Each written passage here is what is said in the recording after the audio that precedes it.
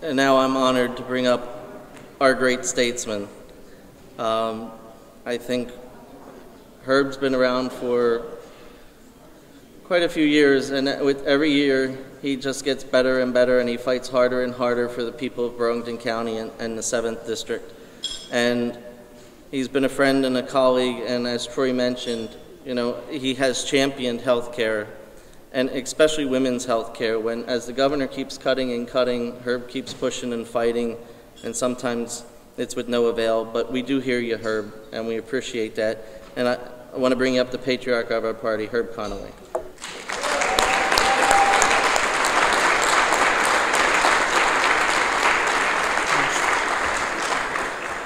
I do wonder when I'm going to be called a patriarch again. I have been around a long time, but I'm not sure I'm up to patriarchhood just yet. It's nice to see these commercials on TV now about the governor.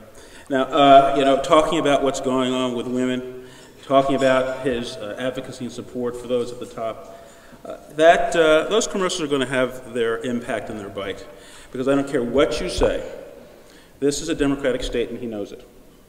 And when the record is told, when the story is told of his stewardship of this state, of his constant striving to comfort the comforted, the comfortable, and his constant, I would say, attacks on workers, his constant attack on women, his constant everlasting attack on the environment, all those things that are important to those of us who think about the future, we're going to win this election. We're a democratic state with democratic values. I was looking at uh, uh, and thinking about this dinner uh, thinking about Thomas Jefferson. You know, uh, how did the Democratic Party get started? It got started because people like Thomas Jefferson said, you know, power is not just the purview of those at the top, those who are wealthy. Power belongs to the people. And everyone, no matter where you start, have a chance to, to make a difference in their society, to lead the way. And that's, that's how the Democratic Party got started. And he was the one who started pushing for the Bill of Rights. And think about the things that we, uh, uh, that make us Americans today. Think about the blood that is all over the world in the ground of our bravest fighting for things like the Bill of Rights, the freedom of speech, the freedom to assemble, the freedom not to have the government come and take you out of your home, put you in jail, take your things from you without due process. Those are things that Thomas Jefferson, one of the founders of our party, put in place and things that we as Democrats, uh, I would say, have given uh, to this country. Think about uh, the sort of founding of the, of the Democratic Party with Jackson, the other person that we think about uh, at times like this.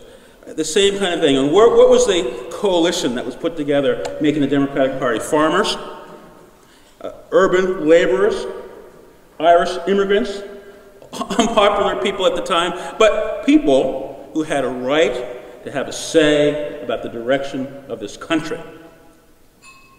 That's what we fight for. That's the heart and soul of this Democratic Party. And that's why, when you think about uh, Joanne, and you think about Amy, and their great and courageous run, those are the kinds of things that they have fought for. That's why they're sitting in office today. Their enthusiasm in advancing those values is, and people said, yes, I agree with that. And they need to be in office because we're tired of the same old nonsense from the other side, who every time there's a choice between what's good for everybody else and what's good for people at the top, they always make a choice for those people at the top. And I don't know if there are Republicans that are here, but I'm glad you're here.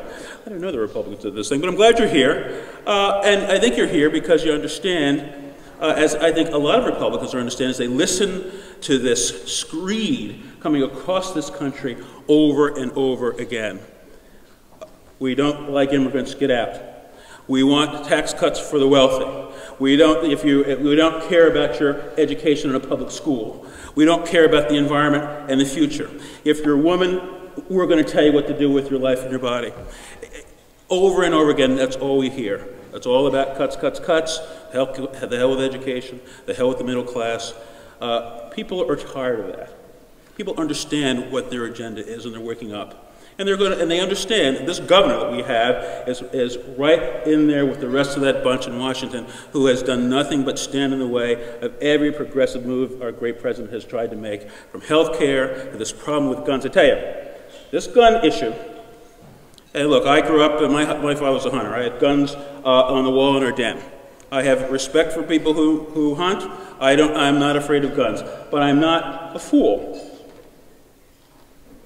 People in this country understand that guns have taken the lives of too many of our children, and we've seen with horrific effect what gun violence has meant to so many families across this country.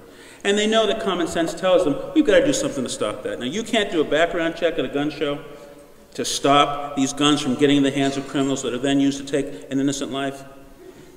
When 90% of the people say that we have to do something about that and we can't get that done in Congress, something is wrong.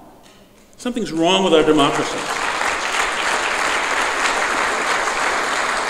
And, and the fear that I have is when, when, when the government can't work to deliver to people what they say they want over and over again, I get concerned about the allegiance that people have to our government, about their faith in the democratic process. That's what's so insidiously wrong about what we're seeing going on in Washington today. When people say they want something and, they're, and, and, it's, and it's sensible, no one's taking away the Second Amendment from anybody, but to say that someone can't walk in uh, and buy 10 or 20 guns and travel to New York and travel uh, elsewhere and sell those guns on the street, sell those guns to people involved in the drug trade, and, and that kind of activity can't be stopped. Now, what we're going to do in the States, and this a bill, we're going to introduce this uh, very shortly. Uh, if you have a gun, and you, and you transfer that gun to somebody else, and that gun is used in a crime, you're going to go to jail, just like the person who committed that crime. Now, if the federal government can't figure out how to stop this illegal transfer, this, this, this, this trade in death, then at the state level, and that we on it, we ought to take action to stop it. We should take action to stop it, and if we have a governor who is a law and order person, like he says, we ought to be able to get that stopped, at least here in New Jersey. And let's see what happens across the country as people see what a state can do when they decide that they're going to stop this, this terrible illegal trade. Now, we have a job to do, as, as has been said. We've got a great nominee. And she's going to go out there and carry uh, our values and our democratic message to people all across the state. Now, we've got to get rid of this person. I, people talk about, one, you never want to hear the word President Christie come out of your mouth. You never, you never want to have to say anything like that. The one thing we can do to ensure that we never have to say that is to stop him this year in this election and send him home. Get him out of Trenton.